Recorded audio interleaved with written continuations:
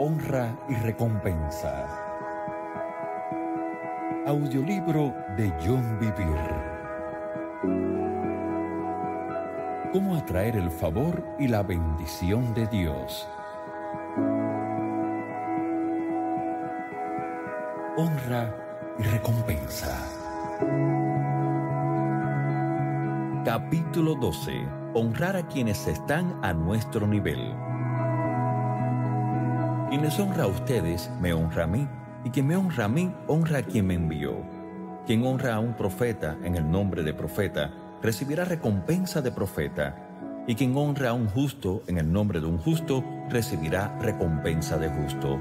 Y quien honra a uno de estos pequeños con solo un vaso de agua fría en el nombre de un discípulo, de cierto os digo que de ninguna manera perderá su recompensa. Mateo 10 del 40 al 42.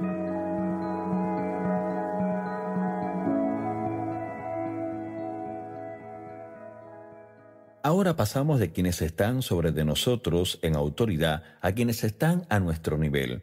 Ni nosotros estamos sobre ellos, ni ellos están sobre nosotros. Esto se identifica por el segundo grupo del que Jesús habla. Quien honra a un justo en el nombre de un justo, recibirá recompensa de justo. Una doble recompensa. Permita que comience con un testimonio que es ejemplo de honra a este nivel. Por varios años he llevado a mi familia a un crucero anual. Nuestros hijos nunca se han quejado de los inmensos viajes de Lisa y míos para llevar la palabra de Dios a personas globalmente. Ellos no solo nos han apoyado, sino que también han sido entusiastas de nuestro llamado. Nos encanta la provisión de Dios para que podamos recompensarlos con estas vacaciones especiales al término de cada año. Nuestros muchachos disfrutan de los cruceros porque nadie puede llamarnos a los teléfonos celulares, ni podemos enviar ni recibir mensajes de correo electrónico. Tenemos el acuerdo de que nuestras computadoras se quedan apagadas toda esa semana. Nada de trabajo. Somos totalmente suyos durante toda la semana. Hace unos años acabábamos de finalizar el crucero. Llamamos a nuestro director de personal y él nos informó de algunas noticias muy desalentadoras. Mientras estábamos de vacaciones, un pastor al que yo conocía en nuestra ciudad contrató a una de nuestras empleadas clave ocultándolo. Esa empleada era responsable de todos los derechos internacionales de las traducciones de nuestros libros y su puesto implicaba una considerable formación y conocimiento al ver que ella trabajaba con editoriales globalmente. Desarrollar una buena relación con las editoriales era crucial y tomaba tiempo. Decir que yo quedé molesto es quedarse corto. Batallé con duros sentimientos hacia ese pastor. Habíamos pasado nueve horas por mes para formar a esa empleada, y él ni siquiera me concedió la cortesía de una llamada para ver cómo afectaría nuestra organización el que él la contratara. Yo podría haber entendido mejor su jugada, si él no fuera salvo y trabajar en el mundo secular, pero que un ministro contratara y se llevara a alguien de otro ministerio sin antes hablarlo con el líder, sencillamente no tenía sentido en el reino. Además de eso, él era un amigo. Durante un par de días batallé con los sentimientos de enojo en oración. ¿Cómo encontraríamos a otra persona con tanta rapidez para sustituirla? Yo lamentaba el tiempo que perderíamos para volver a formar a una persona nueva. Luché contra pensamientos de crítica y anhelaba darle sentido a lo que él había hecho, pero no había lógica alguna. ¿Cómo pudo ser tan insensible? Después de dos o tres días, el Señor me habló en oración. Hijo, quiero que le regales tu nuevo reloj. Mientras estábamos en el crucero en una tienda en Jamaica, encontré un reloj muy bonito. Era un modelo totalmente nuevo de la marca Citizen y parecía realmente bueno. Yo no había comprado ningún reloj desde hacía unos años y me emocioné por su nuevo diseño impecable. Cuando Dios me habló, no necesité mucho tiempo para percibir su sabiduría. Él me estaba dando la oportunidad de liberar cualquier mal pensamiento que se estaba desarrollando en mi corazón hacia ese pastor y sustituirlo por honra. Él me estaba protegiendo de albergar una ofensa y guardando mi relación tanto con él mismo como con el pastor. En oración comencé a sonreír y finalmente me reí. Estaba sorprendido por la sabiduría y el amor de mi padre. Él se estaba moviendo por causa de sus dos hijos. Yo dije sí con entusiasmo a su petición y de inmediato todo el enojo y el resentimiento hacia lo que ese pastor hizo salieron de mi sistema. Fue una liberación rápida. Entonces me encontré emocionado por dar algo que yo valoraba a mi hermano en Cristo. La noche siguiente hablamos por teléfono. Yo ya estaba preparado para conversar, ya que el resentimiento se había ido. Resultó que él cometió un error por descuido, confesó que sencillamente no lo pensó mucho y se deshizo en disculpas. Ahora entendía que, debido a la confrontación, su curso de acción estaba mal. Sin embargo, si Dios no hubiera tratado con mi corazón de antemano, podría haber sido una fea y dañina llamada de teléfono. Mi tono de voz y mi actitud podrían haber encendido un fuego de problemas en nuestra relación. En ese punto, permítame que diga esto. La confrontación es buena, sin embargo, debe hacerse con una correcta actitud de corazón. Debe hacerse por el beneficio de la otra persona y no por nosotros. Yo sí que compartí el por qué su curso de acción había sido incorrecto, pero estuvo bañado de amor genuino por él, lo cual facilitó que él recibiera lo que yo le dije. Después de nuestra conversación, le pregunté si podría pasarme por su oficina. Él estuvo de acuerdo y concertamos una cita. Cuando llegué, él sentía curiosidad. Ya habíamos puesto punto final al asunto. Él se preguntaba cuál sería la razón de mi visita. Yo compartí mi deseo de regalarle el reloj. Abrumado, él dijo, John, yo necesito un reloj. No tengo ninguno. Yo fui muy bendecido al saber eso. Saqué el reloj de la caja y él se lo probó. No le servía porque yo tengo la muñeca más pequeña que él. El problema era que habíamos dejado los eslabones sobrantes en la joyería en Jamaica. Le dije que pediría más a la fábrica. Él intentó convencerme de que lo haría, pero yo no quería hacerle un regalo incompleto. Desde aquel momento hemos estado mucho más cerca de lo que habíamos estado anteriormente. Ambos nos respetamos mucho el uno al otro.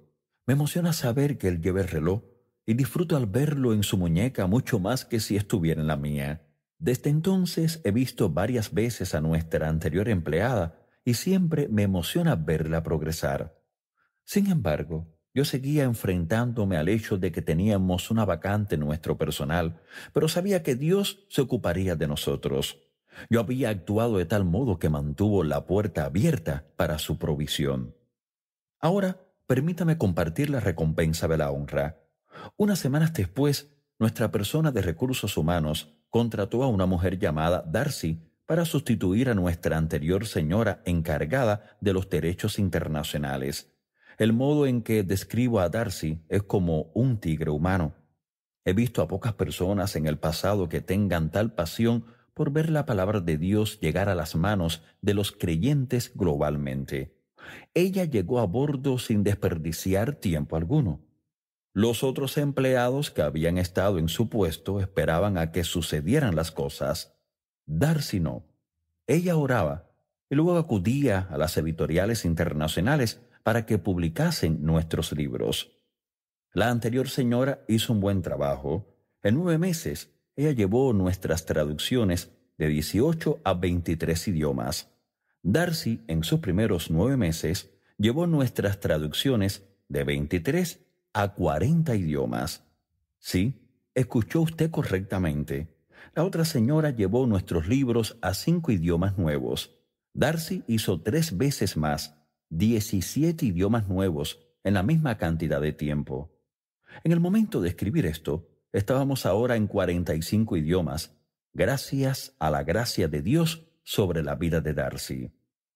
Yo no creo que esto hubiera sucedido si yo no hubiera honrado al pastor que contrató a nuestra empleada sin decirnos nada. Nosotros recibimos una recompensa. La palabra de Dios que administramos está tocando muchas más vidas. Algunos de los logros que ella ha hecho están llevando nuestros libros por cientos de toneladas a las manos de líderes que están en lugares del mundo que son hostiles al Evangelio. De hecho, algunas de las áreas a las que han llegado no puedo compartirlas ni siquiera con nuestros colaboradores en el ministerio por protección de los líderes en esos países donde hay persecución. No puedo pensar en una recompensa mayor que la capacidad de tocar muchas más vidas con la palabra de Dios. Sin embargo, Dios no había terminado. Había otra recompensa por llegar de la cual yo era totalmente inconsciente.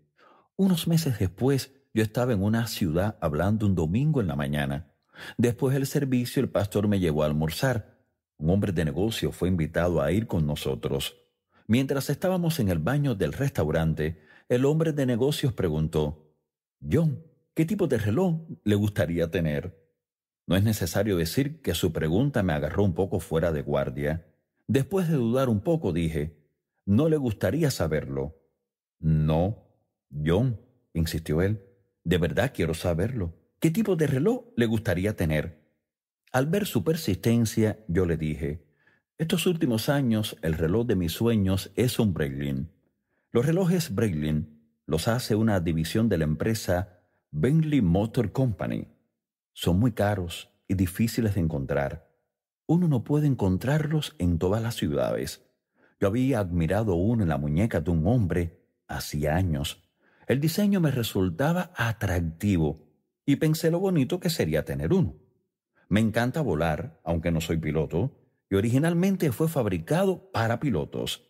Finalmente encontramos una tienda que los tenía en una ciudad grande. Lisa y yo quedamos bastante sorprendidos por sus precios y yo decidí no gastar esa cantidad de dinero en un reloj, pero me seguía gustando esa marca. Al oír mi respuesta, el hombre de negocio se subió la manga de su chaqueta y se quitó de la muñeca un reloj recientemente comprado, último modelo, un Breitling Navy Timer. Luego lo puso en mi muñeca y dijo con una sonrisa, John, mientras hablaba en el servicio esta mañana, Dios me indicó que le regalara este reloj. Yo casi me desmayo, pero al mismo tiempo me quedé sin habla y totalmente abrumado.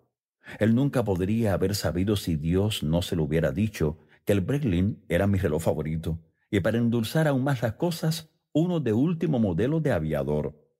¿Cuáles eran las probabilidades de que él tuviera ese reloj en su muñeca?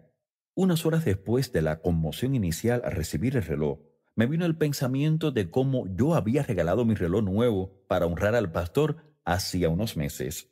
Entonces comprendí que Dios estaba haciendo lo que dijo que haría, honrarme como recompensa. Porque recuerde que Él afirma, yo honraré a los que me honran. Primera de Samuel 2.30. Puede que usted diga, pero John, usted no honró a Dios, usted honró al pastor. Recuerde que Jesús dice, quien honra a mis siervos, me honra a mí, y quien me honra a mí, honra al Padre. Mateo 10:40. Cada vez que miro el reloj, y lo llevo en este momento en mi muñeca mientras escribo, lo veo como un hermoso regalo de mi Padre. Significa mucho más para mí que si yo mismo me lo hubiera comprado. También significa mucho más para mí que si aquel hombre me hubiera regalado solo un reloj caro. Dios hará lo mismo, pero en maneras diferentes para aquellos que le honran a Él al honrar a sus siervos. Amor unido al temor santo. Espero que esté llegando a estar claro ya. Honrar es amar genuinamente. Son necesarios temor santo y amor incondicional para caminar en verdadera honra. Se nos dice, el amor sea sin fingimiento, aborrecer lo malo seguir lo bueno. Amaos los unos a los otros con amor fraternal, en cuanto a honra, prefiriéndoos los unos a los otros. Romanos 12, 9 y 10. Hay mucho en estos dos versículos. En primer lugar, Pablo afirma que el verdadero amor no tiene hipocresía. Una definición de hipocresía es la ocultación del verdadero carácter o motivos de uno. Diccionario Wester de 1828. Esto estaría caracterizado por alguien que actúe como si honrara con sus palabras y actos externos, pero en su interior criticara, envidiara o hasta despreciara al otro. O sí, en ausencia de la persona, la difamara o la calumniara. En la parte sureste de los Estados Unidos se ha desarrollado una cultura que podría conducir fácilmente a esto. Todos hemos oído de la hospitalidad sureña, un caballero del sur o una belleza sureña. Todos esos términos dan a entender que quienes viven en esa zona del país son dados a la gracia y la honra. Sin embargo, lo que ha sucedido con algunos que han sido educados de ese modo es que han aprendido a estar a la altura de las expectativas con fingimiento en lugar de en verdad. En tiempos pasados he sido testigo de unos cuantos individuos en el sur que hablarán con crueldad de otros en su ausencia para encontrarlos después hablando y tratando a esa misma persona con gran honra, amor y respeto. Por otro lado, otras partes del país son diferentes. Las personas no tienen esa expectativa que cumplir, así que tienden a ser más sinceros. En particular, me encantan las personas del noreste. Es común que si no les gusta a alguien, se lo digan a la cara. No han sido formados para fingir, sino que son más bien directos, o para expresarlo mejor, muy claros. Para dar verdadera honra debe hacerse sin hipocresía. Nunca puede hacerse con fingimiento, pues eso solo conducirá al engaño, y sin ninguna duda no hay recompensa para lo falsificado. Pablo continúa con esta idea. El amor sea sin fingimiento, aborrecer lo malo, seguir lo bueno. Aborrecer lo malo y seguir lo bueno es el temor del Señor. Proverbios 8:13 afirma, El temor de Jehová es aborrecer el mal. El temor del Señor nos guarda del engaño, nos guarda de cegarnos a nosotros mismos y tener una conducta hipócrita. Examinemos una vez más la corrección de Dios en esto.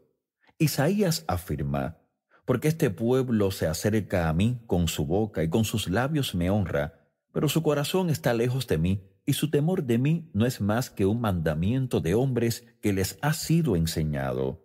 Isaías 29:13. Dios afirma que el pueblo muestra honra con sus bocas y en otras partes del libro de Isaías con sus actos, pero sus corazones no están en ello. Es honra con hipocresía, lo cual no es honra en absoluto. ¿Por qué son dados a esta conducta? Debido a la ausencia del temor del Señor, la reverencia hacia Él consiste en rutina, algo que se ha convertido en un hábito. Esto lo vemos con mucha frecuencia dentro de los círculos eclesiales. Estamos tan centrados en ser educados que perdemos de vista hablar desde el corazón. Permite que ponga un ejemplo. Steve se apresura a una reunión. Llega cinco minutos tarde y es crucial que esté allí a tiempo. Mientras camina por la ajetreada calle, divisa a Jean, un hermano de la iglesia al que no ha visto en semanas, que va caminando por el otro lado de la calle. Piensa, oh no, espero que Jean no me vea. No tengo tiempo para hablar y tampoco él es una de mis personas favoritas. De repente, Jean y Steve cruzan la mirada y Jean de inmediato comienza a cruzar la calle para saludar a su hermano en Cristo. Steve comprende que tiene que reconocer a Jean, pues si no, le tomarán por grosero. Así que Steve se dirige hacia su hermano cristiano que está cruzando la calle para saludarlo. Steve es el primero en hablar porque tiene prisa y necesita que termine pronto la conversación. Jean, gloria a Dios, es estupendo verte. Jean devuelve el saludo y le pregunta a Steve cómo le va. Oh, muy bien, dice Steve. Pero mira, voy tarde a una reunión, así que, ¿por qué no te llamo y vamos a almorzar algún día? Las dos partes se despiden. Regresemos a la breve conversación de Steve con Jean. Antes que nada, él dice, Gloria a Dios, es estupendo verte. Steve ni siquiera estaba pensando en Dios en ese momento. Es solamente una rutina que él ha incorporado a su lenguaje para mostrar emoción y su fe cuando ve a otro cristiano. En segundo lugar, no era estupendo ver a Jean. Él esperaba que Jean ni siquiera le viera a él.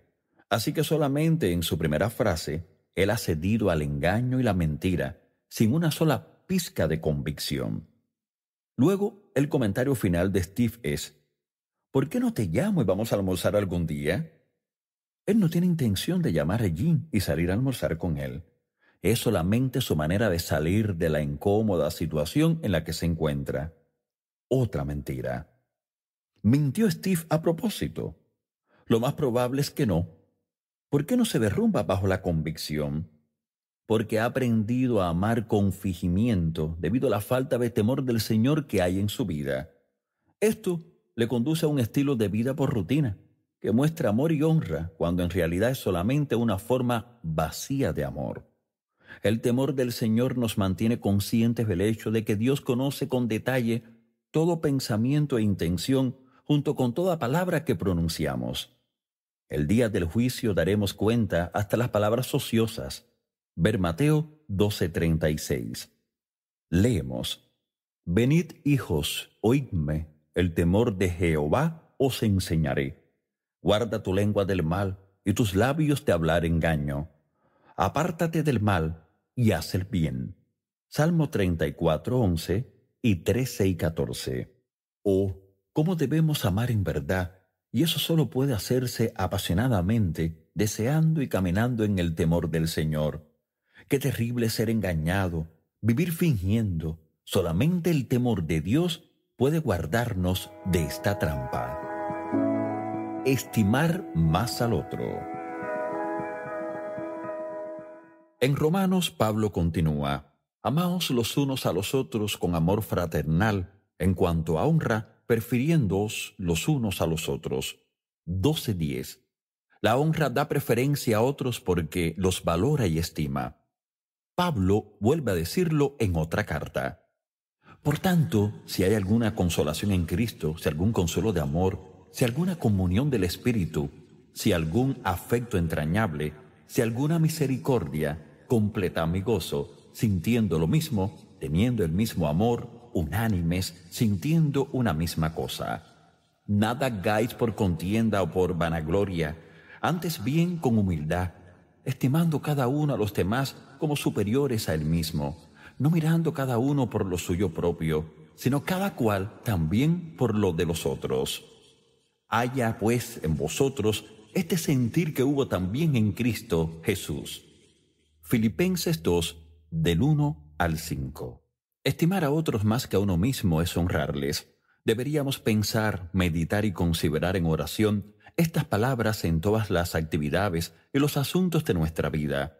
Si aprendiéramos esto, arraigándolo profundamente en nuestro ser, caminaríamos en una gran bendición, ya que es verdadera honra. Observe que Pablo dice, Haya pues en vosotros este sentir que hubo también en Cristo Jesús Nunca olvidaré las palabras que el Señor me habló cuando yo era un cristiano muy joven. Iba conduciendo en mi auto y le oí decir, John, ¿sabes que te estimo más que a mí mismo? Alarmado por oír esas palabras, quedé conmocionado pensando que tenía que ser el enemigo tratando de sembrar un pensamiento blasfemo u orgulloso en mi ser.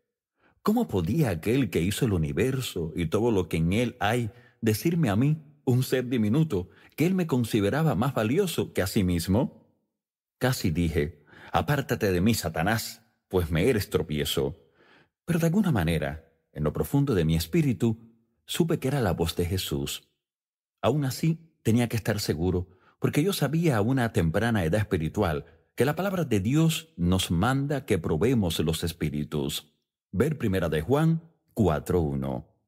Me recuperé y respondí, Señor, sencillamente no puedo creer esto a menos que tú me des tres testigos del Nuevo Testamento.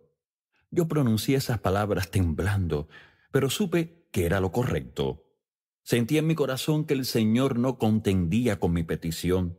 De hecho, sentí su agrado ante mi petición y le oí decir casi de inmediato, ¿qué dice Filipenses 2.3? Yo lo sabía de memoria, así que le recité en voz alta. Nada hagáis por contienda o por vanagloria, antes bien con humildad, estimando cada uno a los demás como superiores a él mismo. El Señor respondió, Ese es tu primer testigo.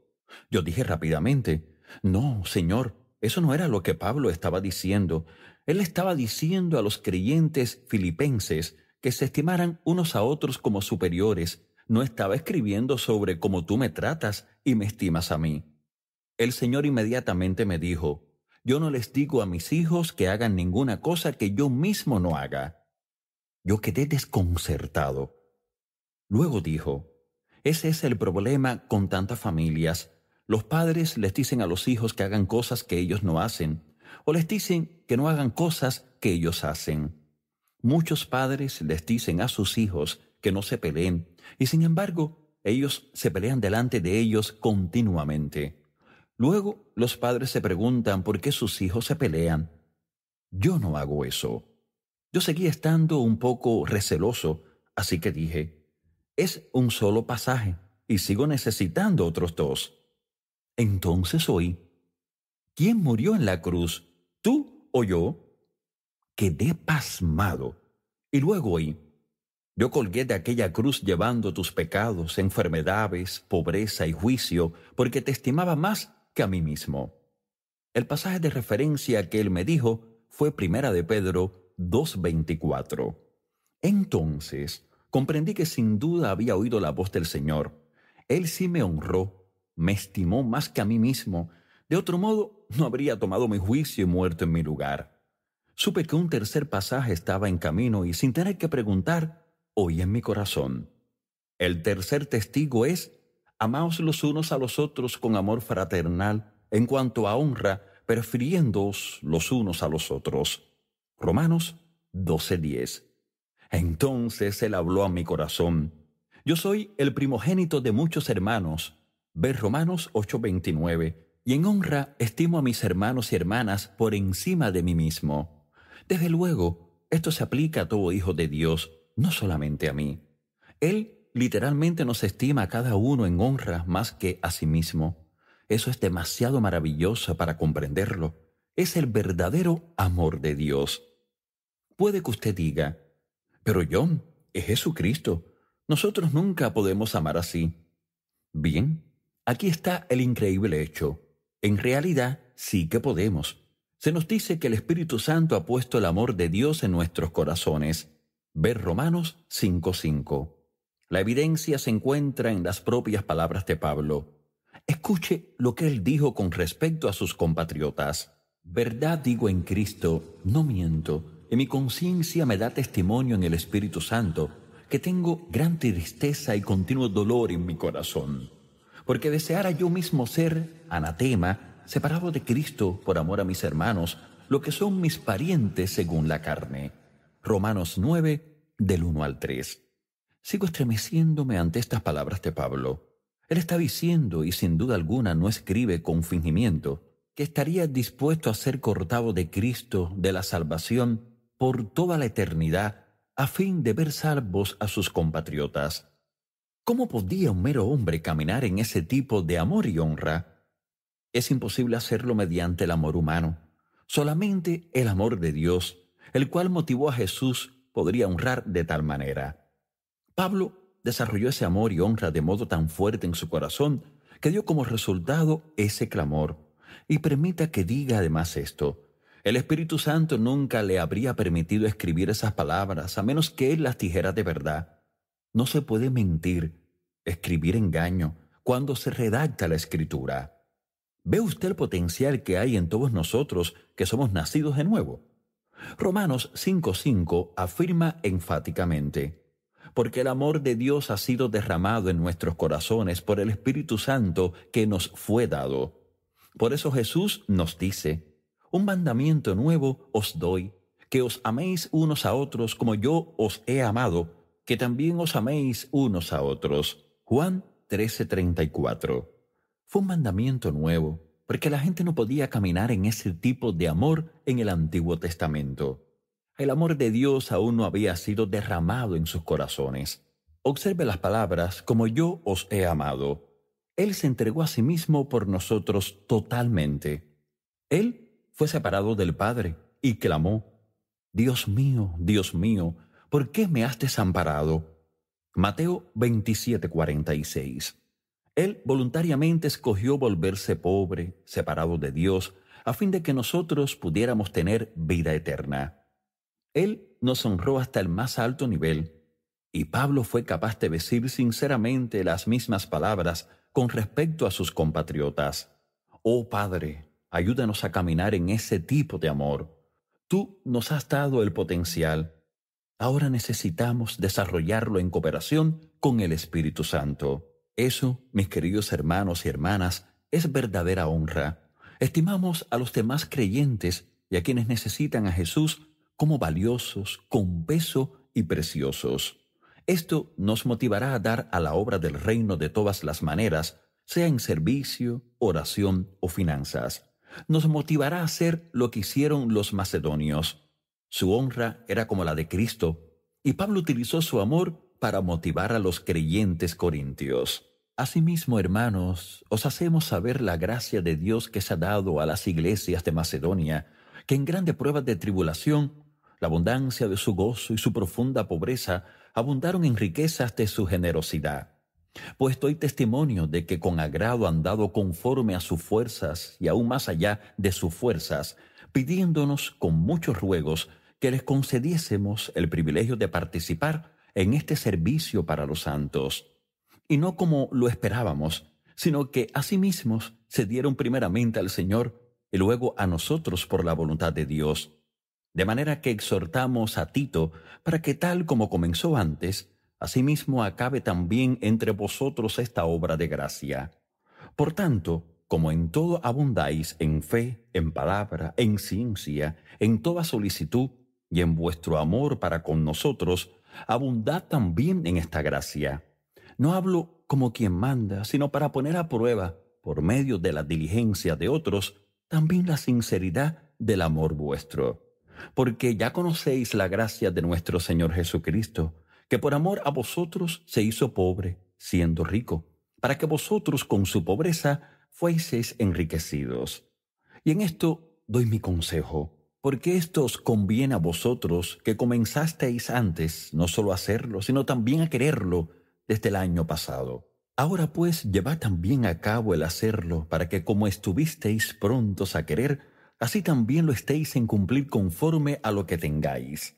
Porque si primero hay la voluntad dispuesta, será acepta según lo que uno tiene, no según lo que no tiene. Porque no digo esto para que haya para otros holgura y para vosotros estrechez, sino para que en este tiempo, con igualdad, la abundancia vuestra supla la escasez de ellos. Segunda de Corintios 8, del 1 al 14. Pablo está usando la honra que los macedonios dieron a quienes tenían necesidad para instar a los creyentes de Corinto a practicar el amor que Dios ha puesto en todos los creyentes. Está ahí. El amor de Dios está en nuestros corazones. Debemos cooperar con el Espíritu Santo para desarrollarlo. No diga, bien, esa no es mi personalidad o mi modo de ser. Decir esto le obstaculizará para que camine de manera que traerá verdadera satisfacción a su corazón, gozo a quienes usted influencia y una gran recompensa no solo en esta vida, sino en especial en la venidera. No retenga, honre a sus hermanos y hermanas creyentes, por toda la eternidad estará contento de haberlo hecho.